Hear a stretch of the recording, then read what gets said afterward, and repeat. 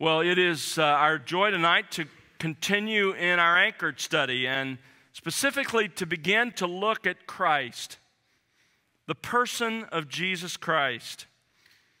The truth about this unique person who would come that we know as our Lord Jesus Christ began in the Old Testament revelation.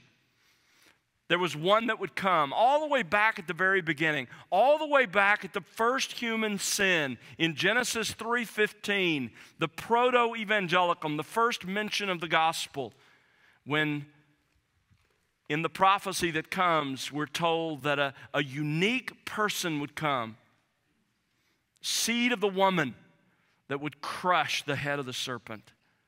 And as the Old Testament unfolds, we gain more and more knowledge about who this person is. It starts out very broad. All we know in Genesis 3 is that it's going to be a most unique human person. And then, as the Old Testament continues, the, the funnel narrows. We learn when we get to Genesis 12 and following that this person will come through the nation of Israel, the descendants of Abraham. And then we learn in in Genesis 49 that it would come through one of the tribes of that nation, the tribe of Judah, the tribe of kings. Later, we learn it would come, he would come through the line of David, one particular family in the tribe of Judah. And it continues to narrow until we get to Micah and we even find out what town he'll be born in Bethlehem. When we come to the New Testament, we meet this unique person through his own words. In the Gospels, in his own teaching, Jesus explained his nature.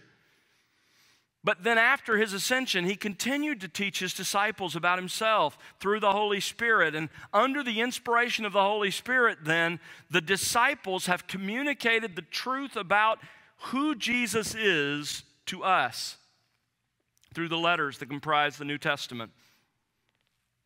We learn the truth about Jesus here.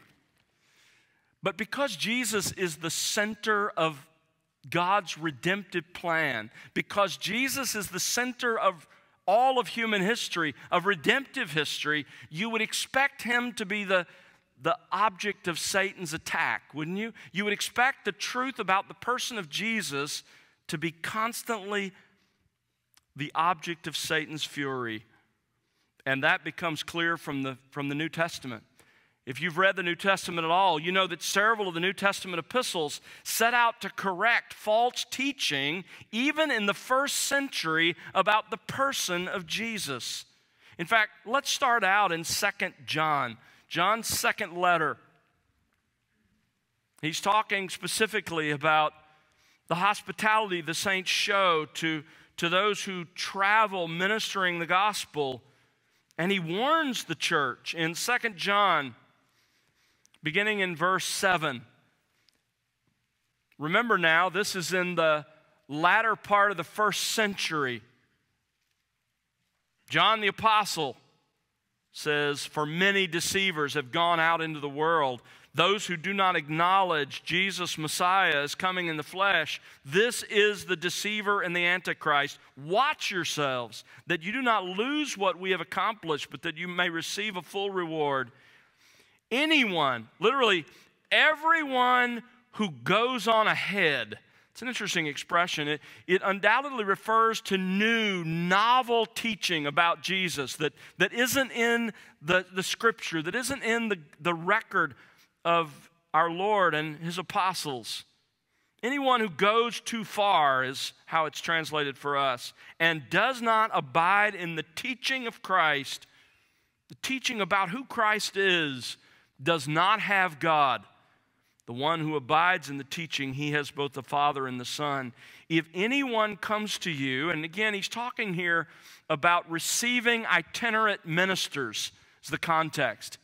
In the early church, there were home churches, and, and these itinerant ministers would travel around, supposedly representing Christ. And in 3 John, he says, Those who are faithful, who are faithful to the scripture, faithful to Christ, faithful to the gospel, receive them. care for them, support them. But here in Second John, he says, Beware, because there are going to be some that show up at your church and say, We're here to represent Christ. But if anyone comes to you, verse 10, and does not bring this teaching, that is, the teaching about Jesus Christ contained in the New Testament, in the Scripture, do not receive him into your house and do not give him a greeting. Again, the context here isn't shunning individuals who don't know Christ, it's shunning false teachers who represent themselves as representing Christ. For the one who gives him a greeting participates in his evil deeds. So understand then that in the first century, there were deceivers sent out by Satan himself trying to mislead the church later, as further heresies about the person of Christ arose, the leaders of the church would meet together after the pattern of Acts 15 to state with greater precision what the Bible teaches about Jesus Christ, to refine the church's understanding about what Jesus himself and his apostles taught about who he is. So I want to begin tonight by looking at the consensus of those views of Christ that are in error. The Christological heresies, that is, the heresies surrounding the person of Jesus Christ. If you're going to love the truth, you have to hate error. As once, one person once said about gardening, if you're going to love gardens and you're going to love vegetables and fruit, you have to hate weeds. Well, the same thing is true when it comes to the truth. If you're going to love the truth, you have to hate error. Here is, here is the error about Jesus Christ. The heresies that follow, the ones I'm going to present to you just briefly, were the first major attacks against the orthodox doctrine of, of Christ. And if you understand these, you begin to guard yourself against being misled. Let's look at them briefly. First of all, there are the Ebionites. The Ebionites from about 70 AD to the 300s AD. The Ebionites were Jews who were seeking to Judaize Christianity. Here's what they taught they taught that Jesus, the son of Mary and Joseph, a human being and only a human being, fulfilled the Mosaic law. So God chose him, in light of his obedience to the Mosaic law, to be the Messiah. He became conscious of this at his baptism when he received the Holy Spirit. You can see immediately the flaw with Ebionite teaching. It denies the deity of Jesus Christ. And the reason that these, these Jewish people who connected themselves to Christianity denied the deity of Christ is they said it was incompatible with monotheism. They didn't understand the doctrine of the Trinity.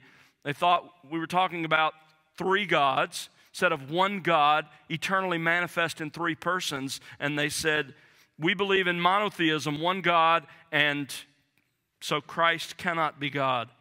Obviously, this heresy is refuted throughout the New Testament. Ebionism survives, by the way. I said it died in 300. That's true and not true.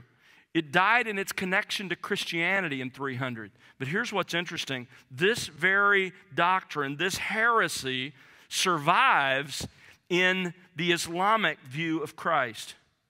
In fact, as one historian writes, it contributed, Ebionism contributed to the origin and rise of Islam.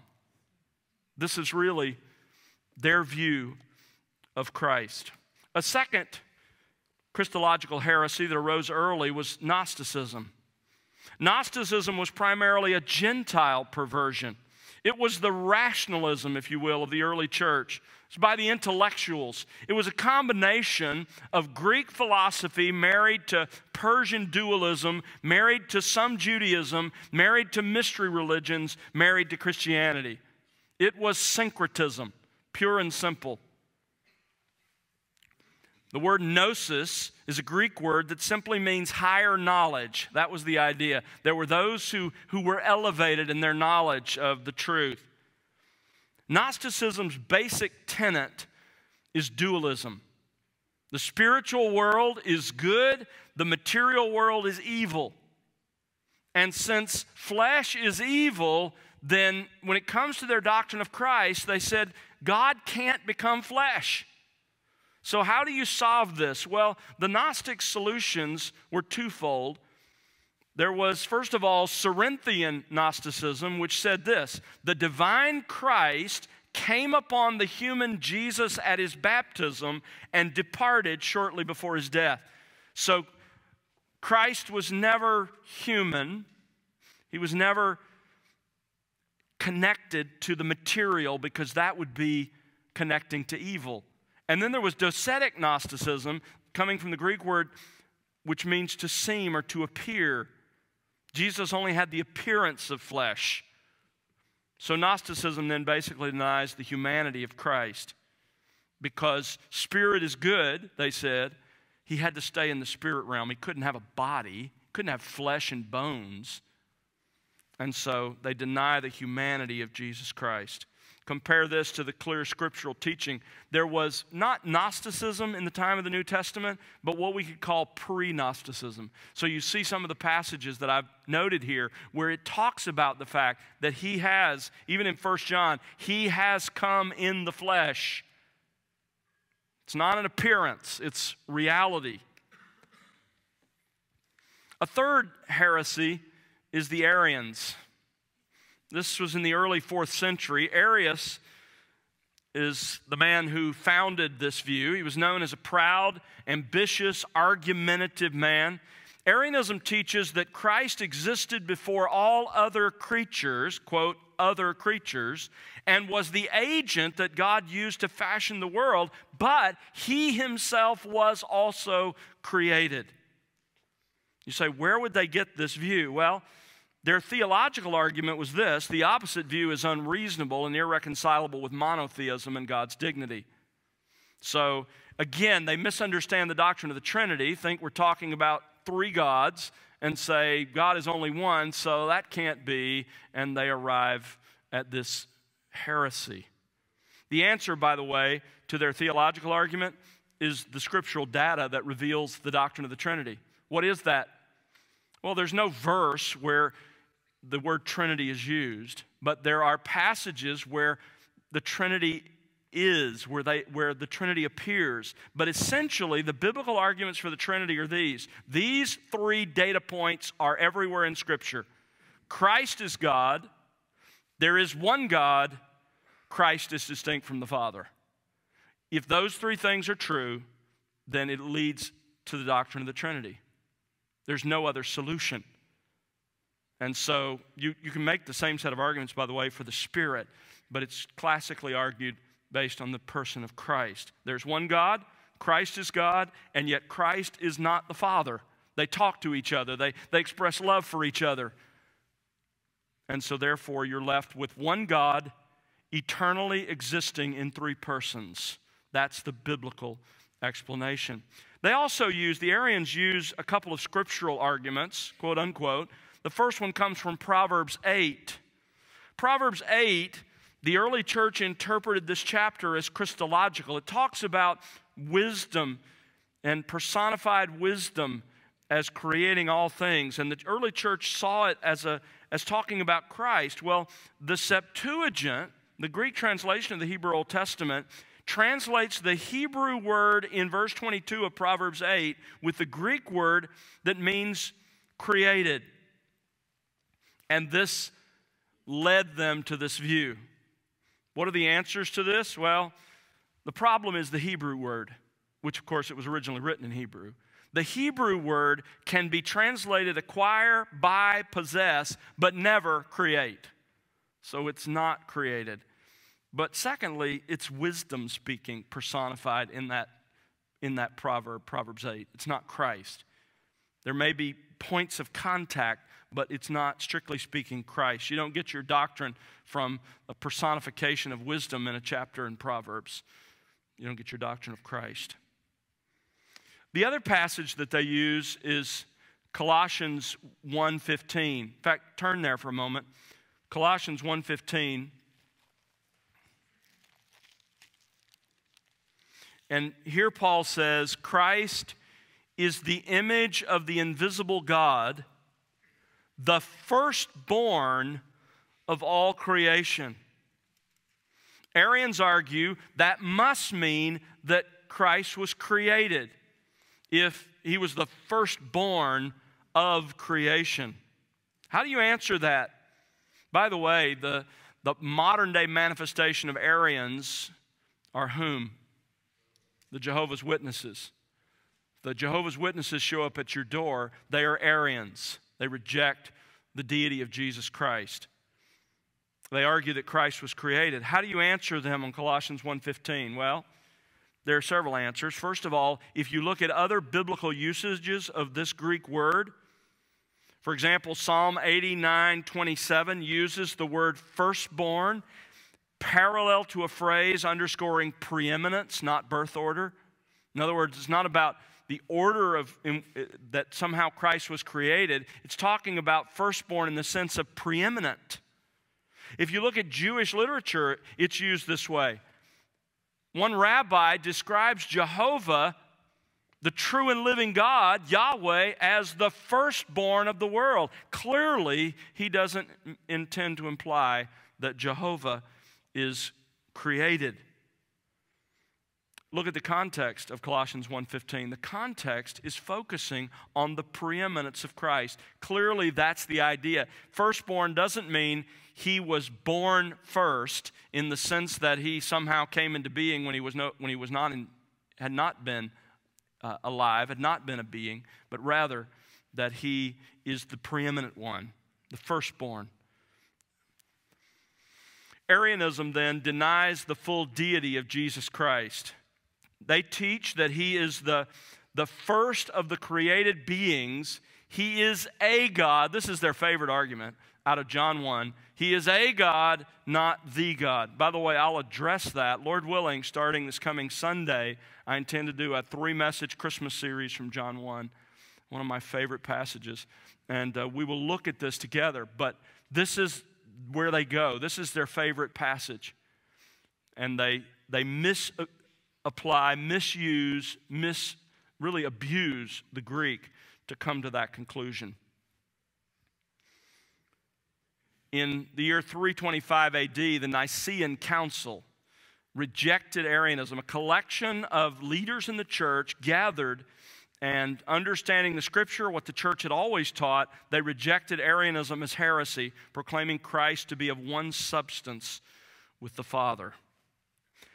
The Apollinarians, another group named after its founder, this view taught that man consists of three parts spirit, soul, and body. The soul was like the animals had souls in their understanding. And so it's like the animal soul, and then there was the spirit. That's what differentiated man from animals. And this view, then, in light of that, said Christ had an animal soul and a body. In other words, he had those, those strictly um, physical aspects but the divine Logos took the place of the human or rational spirit in Christ. This view then denies the full humanity of Christ. He wasn't fully and completely human. The divine Logos took the place of the human spirit, the rational spirit, and took only the material part of the human nature of Christ. The Council of Constantinople in 381 condemned this as heresy. A fifth Christological heresy is the Nestorians.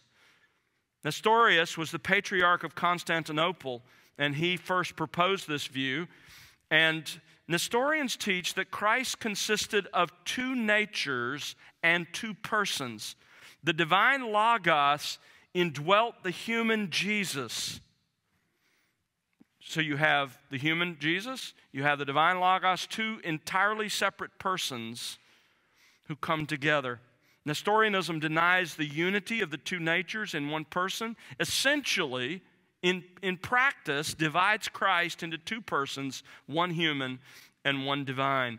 The Synod of Ephesus in 431 AD condemned this heresy. Then there's the Eutychians. The Eutychians, they are monophysites. That is, they believe only one nature. They teach Christ only had one nature, and that was his divine nature. Eutychianism fails to distinguish properly between the two natures. They teach that Jesus was only one. The Council of Chalcedon in 451 AD condemned this. Those are the major Christological heresies early in the church. And here's the bottom line. As Dr. A.P. Peabody said, the canon of infidelity was closed almost as soon as that of the scriptures. Modern unbelievers have, for the most part, repeated the objections of their ancient predecessors. You can find most of the flawed views of Christ in the early heresies of the church in one form or another. So, what is the, the orthodox doctrine of Christ? Well, it was put together at the Council of Chalcedon. And again, this is not an inspired document, but it is a collection of what the church taught through the first 400 years and a collective understanding of what the scriptures mean. And so it's, it's right for us to look at it. This comes from the year 451 AD, the Council of Chalcedon in 451 AD, attempting with all of the battles over the, the person of Christ, whether you lean toward his humanity, his deity, whether those, those natures are, are blended into some new nature, etc., trying to work out the details of what scriptures teach in light of the heresies that had arisen, this is where they landed. And it still stands today. I'm going to read it to you because I want you to, I want you to see it. We're going to look at how the scripture teaches exactly this in just a moment, but I want you to see the historical document. Here's the Council of Chalcedon, 451. Following then the Holy Fathers. Now, that's an important statement. What they're saying is this isn't new. We're landing exactly where the church has always landed. We unite in teaching all men to confess the one and only Son, our Lord Jesus Christ this self same one is perfect, both in deity and in humanness. This self same one is also actually God and actually man. Sometimes that's translated truly God and truly man. With a rational soul, that means a human soul, and a body. He is of the same reality as God as far as his deity is concerned, and of the same reality as we ourselves as far as his humanness is concerned. Thus, like us in all respects, sin only accepted. You hear me say something like that all the time. It comes from the Council of Chalcedon. This is the orthodox understanding of the person of Christ. He was like us in every way except for sin. The statement goes on to say, Before time began, he was begotten of the Father. In respect of his deity, and now in these last days, for us and behalf of our salvation, this selfsame one was born of Mary the Virgin, who is God bearer in respect of his humanness. We also teach that we apprehend this one and only Christ, Son, Lord, only begotten, in two natures and we do this without confusing the two natures, without transmuting one nature into the other, without dividing them into two separate categories, without contrasting them according to area or function. The distinctiveness of each nature is not nullified by the union. In other words, it, it, doesn't become some third thing. No, he's, he's still Uh, instead, the properties of each nature are conserved, and both natures concur in one person and in one reality. They are not divided or cut into two persons, but are together the one and only and only begotten Word of God, the Lord Jesus Christ. Thus have the prophets of old testified. By the way, here's, the, here's what they're saying this is what the scriptures teach. Thus, the Lord Jesus Christ Himself taught us Thus, the symbol of the fathers, meaning the Nicene Creed, has been handed down to us. In other words, this is exactly what the church has always taught. That's the statement. Now, the rest of our time tonight and two weeks from tonight, as we look again at the person of Christ and in the ensuing weeks, we'll we'll look at what the scriptures teach, and what we will discover is this is a wonderful summary of, in fact, what the scriptures teach. So let's look at the biblical evidence. And tonight, I just want us in the time remaining to look at the biblical evidence for the humanity of Christ. What better thing could we be studying in light of this season and the celebration of Christmas than the humanity of Christ? Jesus, remember what the Creed said. He was like us in all respects, sin only accepted. That's what the scriptures teach. Let's look at it together the humanity of Christ. There are several lines of argument, and we're going to unpack them briefly. First of all, he had a human birth into a human line. In Luke chapter 2, you read the story of his birth. We'll read it, Lord willing, coming up here in a couple of weeks together. And I'm sure you'll read it on your own in the meantime. In Luke chapter 3, you see his human lineage, as well as in Matthew 1. He was in a human line and had a human birth. Romans 1 3 says, concerning his son, this is the gospel, it is concerning his son who was born a descendant of David according to the flesh. Galatians 4 4, when the fullness of time came, God sent forth his son, born of a woman, born under the law. So he had a human birth, but it was a unique birth, let's admit it. It was a virgin birth. In, more technically, it was a virgin conception and a virgin birth. Why do I stress that? Because the scriptures stress that. In fact, look back at the key text. Look back at Isaiah 7. A number of years ago, I, I walked through this prophecy, and I, I, want, I thought about doing it again this year because it's so important, and I will at some point, but not this year. We're going to go to John 1. But look at Isaiah chapter 7 and verse 14. Therefore, the Lord Himself will give you a sign. He says to Ahaz, King Ahaz, Behold, a virgin will be with child. So, a virgin will conceive. And by the way, this word means a virgin. And there are a lot of ways to argue that and prove that. That's a different message for a different time. But it's a virgin. A virgin will be with child. So a virgin will conceive and bear a son. A virgin will bear a son. That's why the New Testament says Joseph kept Mary a virgin until after Jesus was born. Why? Because that's the prophecy. The prophecy said that a virgin would conceive and a virgin would give birth, and that's fulfilled in Matthew 1 and in Luke 1. We see that play out. We read it this morning, right? Mary's response was not doubt when she said, How is this going to happen? She believed unlike Zacharias, she's just saying, So tell me how this is going to work out. Because she, I'm a virgin, she says. Now, why is the virgin birth or the virgin conception so important? We understand it's absolutely crucial to our faith, but why? Do you understand why? Let me tell you what the virgin birth did not accomplish. It did not accomplish, or it was not the cause of Jesus' deity. Virgin birth had nothing to do with Jesus' deity. It's not the cause of his sinlessness. There are some who argue that human sin is only passed down through the male. I resent that. I'm sure there's plenty that's passed on through the male, but there's no evidence biologically or biblically for that position. In fact, Psalm 51:5, David says, "In sin did my what? Mother conceive me."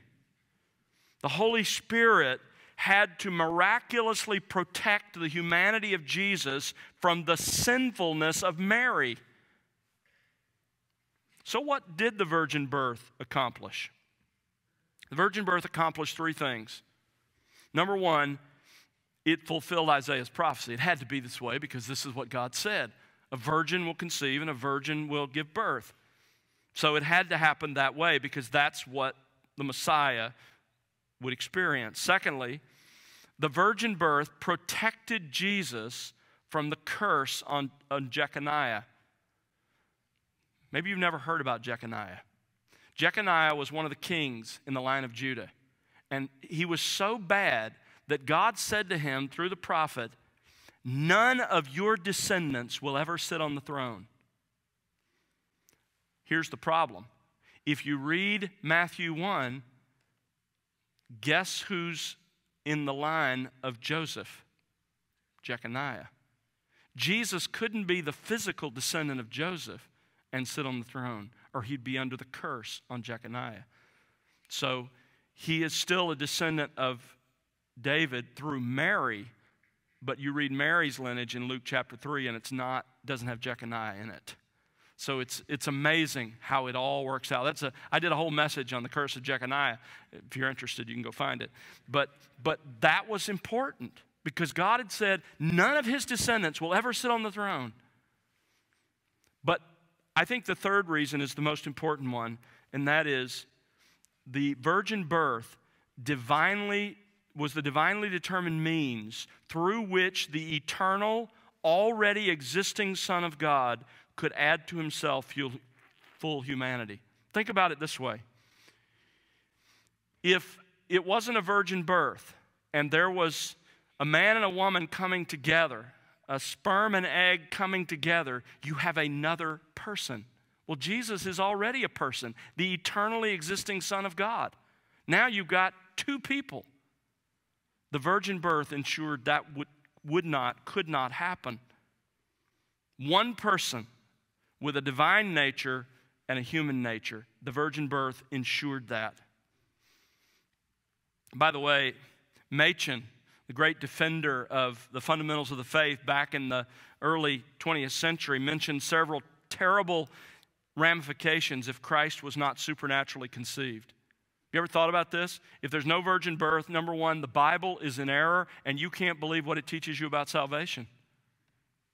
Number two, it's impossible to really understand the person of Christ and the nature of the incarnation. Three, if Jesus was conceived just like other men, then he received just like other men original sin just like we have. And he was not acceptable to, to satisfy the demands to be the Savior. But the primary effect of the virgin conception was this it was the means God used to unite the pre existent second person of the Trinity with a human nature. That's the virgin birth. Jesus was born like a human. He had a human birth into a human line. Secondly, he developed as a human being. Luke chapter 2, verses 40 and 52 talk about the fact that he grew just like your kids, just like we did, and just like our kids did. He grew in those various ways. He developed as a human being. Let's move on. Thirdly, he had the essential elements of human nature. Two of them. You understand that you are a two part being. There is a material part of you, your body, and there is an immaterial part of you, your soul. That's what constitutes a human nature. That's what makes you human. Jesus had both as well. Let's look at what the scriptures teach. First of all, he obviously had a body. Matthew 26, 12. Jesus says, When she poured this perfume on my body, she did it to prepare me for burial. Luke 24, 39. See my hands and my feet, that it is I myself. Touch me and see, for a spirit does not have flesh and bones as you see that I have.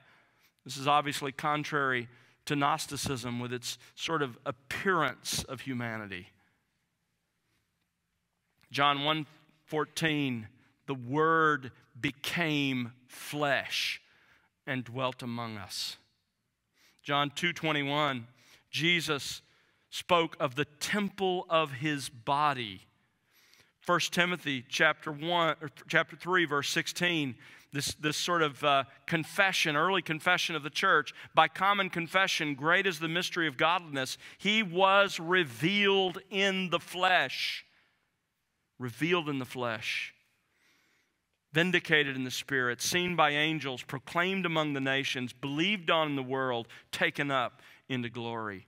Hebrews 2:14 Therefore since the children share in flesh and blood that's us since we have flesh and blood, he himself likewise also partook of the same, that through death he might render powerless him who had the power of death, that is, the devil. He took the same. Hebrews 10:5 Therefore when he comes into the world he says sacrifice and offering you have not desired he says this to God but a body you have prepared for me why was that body prepared for Jesus in the context of Hebrews 10? As a sacrifice, a sacrifice for our sins. Hebrews 10, verse 10 By this will we have been sanctified through the offering of the body of Jesus Christ once for all. Jesus had a body, a real body just like yours. He also had a soul. Matthew 26, 38, he said to them, to his disciples, My soul is deeply grieved to the point of death. Remain here and keep watch with me. Mark 2 8, Jesus, aware in his spirit, another word for that immaterial part of our being. Jesus was aware in his spirit that they were reasoning that way within themselves, said to them, Why are you reasoning about these things in your hearts? Luke 23 46, on the cross, Jesus cried out, Into your hands, Father, I commit my spirit, the immaterial part of his being. And having said this, he breathed his last. His human body died, his human soul was ushered into the presence of the Father. John 12 27, Now my soul has become troubled, and what shall I say, Father? Save me from this hour? But for this purpose I came to this hour. My soul has become troubled. John 13, 21. Jesus became troubled in his spirit when he thought of the betrayer. Jesus had a body just like your body. Jesus had a human soul just like yours, sin only accepted. Fourth, he had the sinless weaknesses of human nature. I find such such comfort in this. He wasn't a superman, he was a normal man. And he, he had the same weaknesses, the sinless weaknesses of human nature. Here are a few of them Matthew 4 2. After he had fasted 40 days and 40 nights, he then became hungry. Doesn't mean he hadn't been hungry before. He had a human body just like yours. It meant he was really hungry. He'd gone through that stage of when the body begins to shut down and he was really hungry. Matthew 8, verse 24 And behold, there arose a great storm on the sea, so that the boat was being covered with the waves. But Jesus had had such a long, hard day of ministry that even in the middle of the storm, when his disciples are afraid that the boat is going to sink, Jesus is sound asleep. Why? Because he was tired. Because he was absolutely worn out. Ever been there? Jesus experienced the same thing. John 4 6. Jacob's well was there. This is the story of the Samaritan woman. So, Jesus, being wearied from his journey, read that again. Jesus, being wearied from his journey, was sitting thus by the well. It was about the sixth hour. He had traveled by foot with his disciples, and he was tired, perhaps even tireder than they were. They went into the city to find food, and Jesus rested alone by the well. Of course, he had this mission, but he was wearied from his journey. John 19 28, on the cross, when Jesus knew that everything had been accomplished to fulfill the scripture, and because he genuinely was, said, I am thirsty. He experienced all the sinless weaknesses that you experience. Jesus got sick. He had the other experiences of unglorified humanity. And in addition to having the sinless weaknesses, he is repeatedly called and assumed to be a man. John 130 John the Baptist says, After me comes a man who has a higher rank than I, for he existed before me. There you see his humanity and his deity in the same verse. John 8 40. Jesus says, You are seeking to kill me, a man who has told you the truth, which I heard from God. This Abraham did not do. John 20, verse 15, Jesus said, Woman, why are you weeping? Whom are you seeking? And she supposed him to be the gardener. I love that. The gardener. Where'd you, where'd you put Jesus? Acts 17 31, Paul, in his great sermon, there in Athens said, He has fixed a day in which He will judge the world in righteousness through a man whom He has appointed, having furnished proof to all men by raising Him from the dead. 1 Corinthians 15, verse 21 For since by a man came death, by a man also came the resurrection of the dead. Verse 47 The first man is from the earth, earthy. The second man is from heaven. 1 Timothy 2 5, there is one God, one mediator also between God and men, the man, Christ Jesus. You understand? Jesus was just like you are, fully human. He also had human names.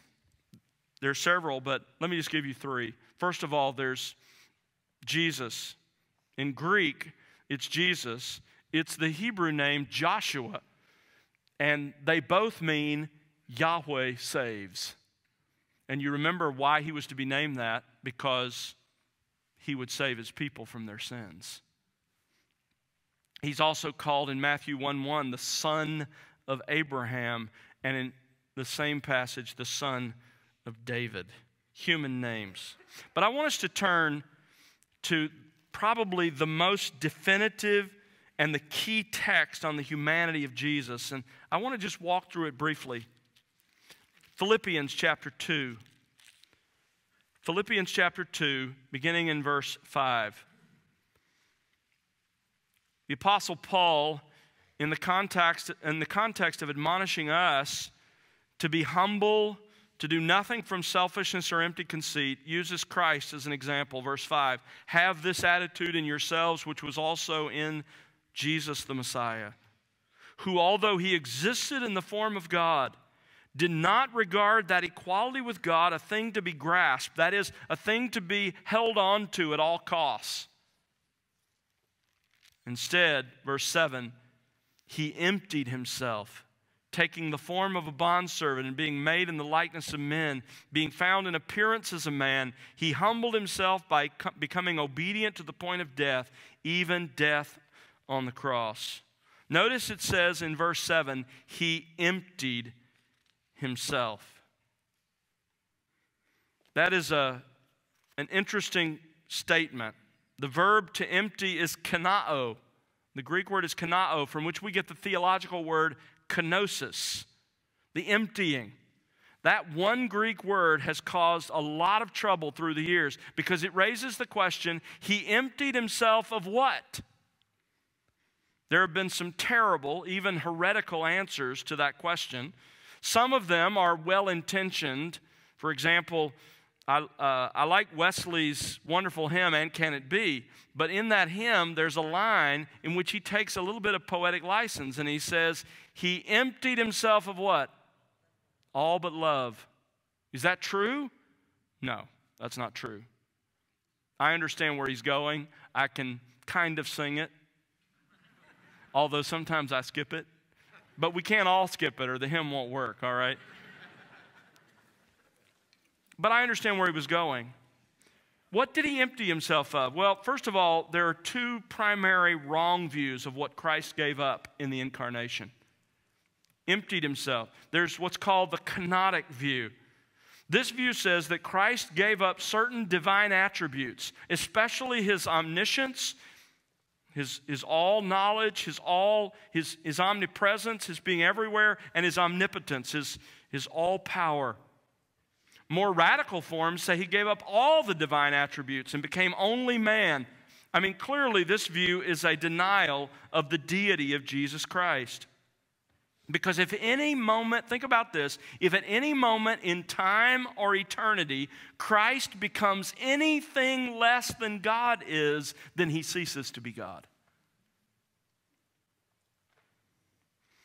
Hebrews 13:8 says Jesus Christ is the same yesterday and today and forever. The Gospels are clear that even during his earthly life, he exercised these attributes. He exercised his omnipresence. When he knew what was going on, where Nathanael was sitting, under what kind of tree, he exercised his omniscience. He knew what was in the heart of man. He exercised his omnipotence in, in his miracles throughout his ministry. This is a wrong view. The second wrong view of what it means that he emptied himself is the view of Anselm in the Middle Ages. Anselm said Christ acted like he did not possess any divine attributes. He possessed them, he just acted like he didn't possess them. But the orthodox doctrine of the kenosis, of the emptying of Christ, is that Christ surrendered absolutely no attribute of his deity. So the question is what did Christ actually give up in the incarnation? What did he empty himself of? We're about to celebrate the birth of Christ. What did he, can I say it this way, lose? He didn't really lose anything. But what did he intentionally set aside? Well, in the incarnation, Christ emptied himself in two specific ways. First of all, he veiled his pre incarnate glory. He veiled his pre incarnate glory. Turn to John 17. In the high priestly prayer of Christ, on the night before his crucifixion, he mentions this. John 17, 5. Let's start at verse 4. He says, I glorified you on the earth, having accomplished the work which you've given me to do. Now, Father, now that I have accomplished the work that you've given me to do, as he anticipates the crucifixion the next day, he says, Glorify me together with yourself with the glory which I had with you before the world was. What's the implication of that? In the incarnation, he veils that glory. He didn't surrender it in an absolute sense. In fact, you see glimpses of it, right? What are the, what are the couple of times in his earthly ministry where you just see that the veil kind of slip off and you see something of the glory of Christ? Clearly, the transfiguration, right? In Matthew 17, 2, he was transfigured before them, and his face shone like the sun, and his face shone like the sun, and his garments became as white as light. I think the other time was in the garden for the protection of his disciples so they wouldn't be arrested because he knew if they were arrested, their faith would fail. And he wasn't going to let that happen. And so, what does Jesus do? He says to the, to the soldiers who showed up, Whose name is on the arrest warrant? Who did you come for? And he says, That's me. And when he says it, what he really says is, I am. And when he says it, they fall back they got just a little glimpse of who he really is. It paralyzed them. Why did he do that? For the protection of his own. It's a great encouragement to me. I will never be allowed to face a circumstance where my faith will fail. We sing that song, He Will Hold Me Fast. That's what he was doing in the garden. But he veiled temporarily his pre incarnate glory. Also, in the incarnation, Christ voluntarily restricted the independent use of some of his divine attributes. He only used them under the direction of the Holy Spirit. Again and again, you read in the Gospels about he did this through the Spirit, by the direction of the Spirit. He used his divine attributes, but only when he was directed to do so by the Holy Spirit. In other words, he willingly chose not to constantly exercise his divine attributes. For example, he never used his omnipotence as God for his own ease. Now, let's just be honest.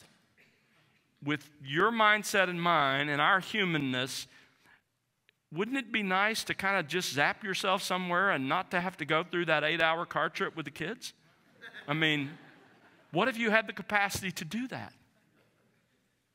Jesus refused. He voluntarily restricted the use of his attributes. He chose to suffer all the inconveniences of his day, even though he had full knowledge of every possible human device and invention.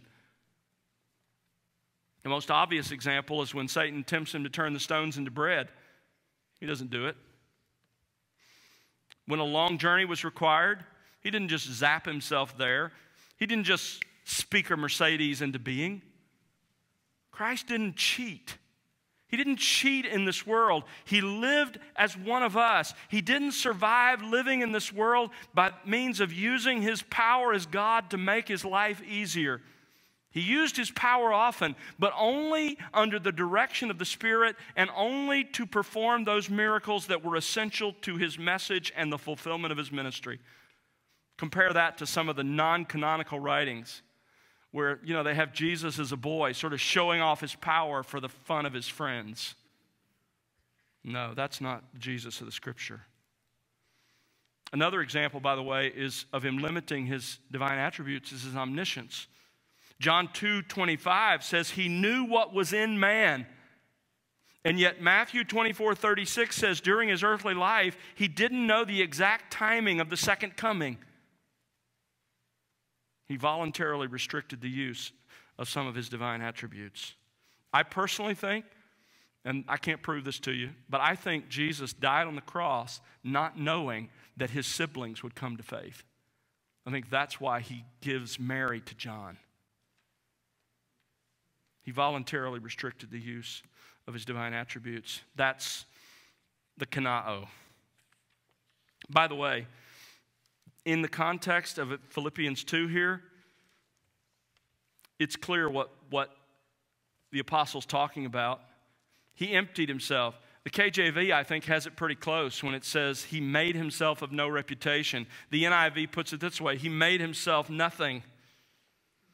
The word in secular Greek is used of pouring something out. I think that's the idea here. Christ chose to pour himself out. In what way? Well, here we're told. His self emptying is defined in Philippians 2 by the following phrases. Notice three participial phrases capture the incredible condescension, the emptying of Jesus Christ. First of all, verse 7, he takes the form of a bondservant. Taking the form of a bondservant. Notice taking is a participle. It's modifying the main verb empty. Jesus emptied himself by taking the form of a slave. The word form has the idea of the essential characteristic attributes. He took on the essential characteristics of a slave. He entered the world as a nobody. How did he take on the form of bondservant? By being made in the likeness of men. Christ took the form of a slave by being made in the likeness of men. Think about this. You see what Paul is saying? The only way to illustrate what it's like for the eternal creator to become exactly like one of his creatures, creatures rather, is becoming a slave. He took the form of a slave in the sense that he became like us. He came in the likeness of men. Why does he say likeness? Why doesn't he say just Christ was a man? Why the likeness of men? Because although he was truly a man, he was not merely man. Christ is similar to us, but not absolutely like us. And the similarity is his full, complete humanity. He was united to an unglorified humanity, just like we are, except for sin. Christ was everything we are subject to temptation, trouble, weakness, pain, sorrow, every human limitation, but he wasn't exactly like us. Romans 8 3 says, God sent his son in the likeness of sinful flesh, yet without sin. And he never ceased to be equal with God. He was in the likeness of men. But there's one more phrase. He was found in appearance as a man. The word appearance is the Greek word from which we get the word schematic, outward form that which makes something recognizable for what it is. Not only was Christ fully human, but when everybody saw him, they concluded that he was, in fact, a man. He was born in the usual way. He had a physical body. He grew up in a family, the oldest of at least seven children. He had human parents who cared for him. He grew and developed as other children do. He probably worked from at least the age of 13 to the age of 30 in the carpentry business that Joseph had. He got hungry, thirsty, tired. He needed sleep. He felt pain. He experienced external solicitations to sin, and he even died. He was exactly like all other human beings, a genuine man. In fact, he was so much of a man that his enemies scoffed at the idea that he was God. His own brothers, think about this, his own brothers didn't believe he was anything more than a man until after the resurrection. He was that thoroughly a human being. why is all this important?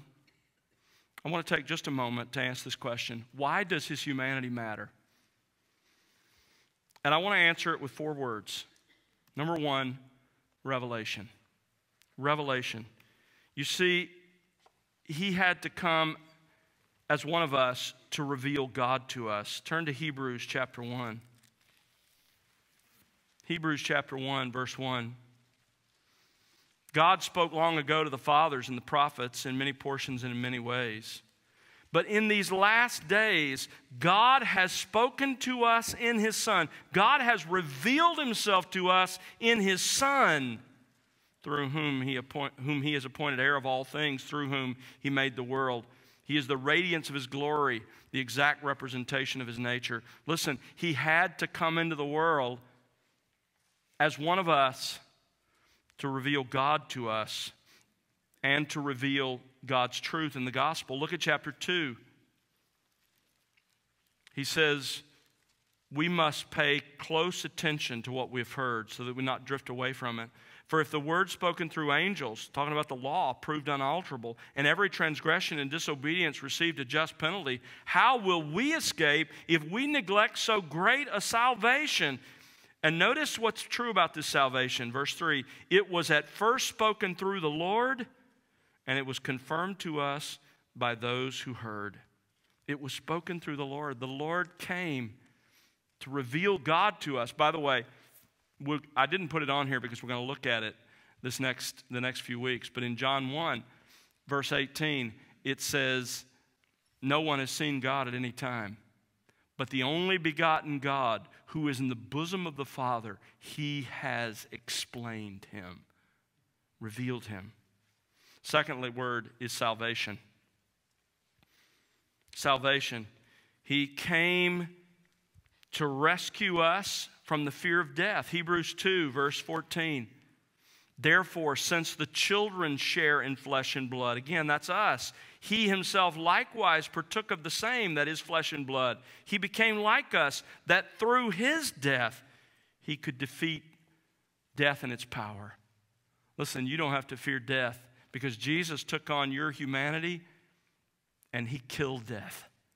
He put it to death so that its sting is now removed for us.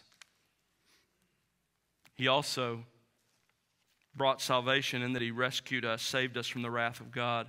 Look at chapter 2, verse 17. Therefore, he had to be made like his brethren in all things. He had to be made like us. Why? So that he might become a merciful and faithful high priest in things pertaining to God. Here it is to make propitiation for the sins of the people, to satisfy the wrath of God on behalf of his people. He had to be made like us to do that. You understand? The only way Jesus could become your Savior was to become like you so that He could represent you. And that's exactly what He did. That's what we celebrate. Third word is illustration. Illustration. Hebrews chapter 12. Hebrews 12, verse 2.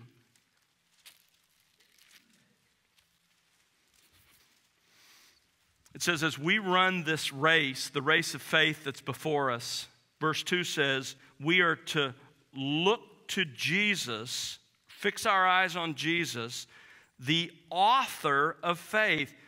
Literally, the, the originator or this word can also be translated the preeminent example of faith. The author, the originator, and preeminent example and perfecter of faith. He provides an illustration in how he lived and how he ran. Again and again, we're pointed to him. We're called to be like Jesus Christ. He set the example of what a person who knows God is to be like. Final word is the word association. Association. Jesus became like us to associate with us in this life. By taking on our humanity, he understands experientially what we face. Remember Hebrews 2:17? He had to be. He was obligated to be made like his brethren. Why? So that he might become a merciful and faithful high priest. High priest, the one who represents us before God. Merciful means compassionate toward men. Faithful means trustworthy toward God. He had to be made like us so that he could be the right kind of high priest. Go back to chapter 4, verse 15. For we do not have a high priest who cannot sympathize with our weaknesses, but one who has been tempted in all things as we are, yet without sin. Therefore, let us draw near with confidence to the throne of grace. Listen, he had to be made like you. He, he understood everything about you before he became like you. But when he became like you, he has experienced everything you've experienced except for personal sin. And therefore, he can represent you. He did it so that he could associate with us in this life and so that he could associate with us forever. The last passage I want you to see is Hebrews 2. Hebrews 2 and look at verse 10. For it was fitting for Jesus, for whom are all things, and through whom are all things. I'm sorry, it was fitting for God. Let me back up. It was fitting for God, for whom are all things, and through whom are all things, in bringing many sons to glory, to perfect this is Jesus, the author of their salvation through sufferings. For both he who sanctifies and those who are sanctified, Jesus and us, are all from one Father, for which reason Jesus is not ashamed to call us brothers and sisters, saying, Here's Jesus. This, this, by the way, points into the future when the redeemed are gathered in heaven. This is Jesus talking. I will proclaim your name, God, to my brothers. That's us. And in the midst of the congregation, I will sing your praise. Listen, Jesus became just like you, not for 33 years, but forever. Forever.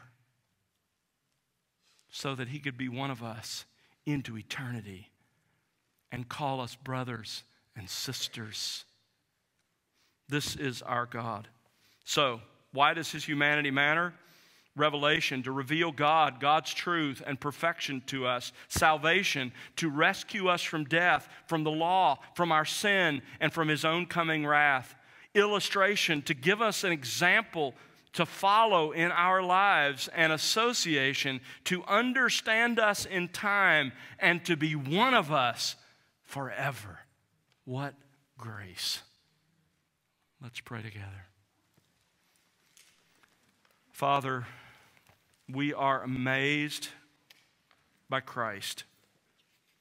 We're amazed that he would so willingly offer himself, the eternal Son of God, the Creator, to become the creature, to become just like us, not for the week of the Passion, not for 33 years, but forever, so that he could call us brothers.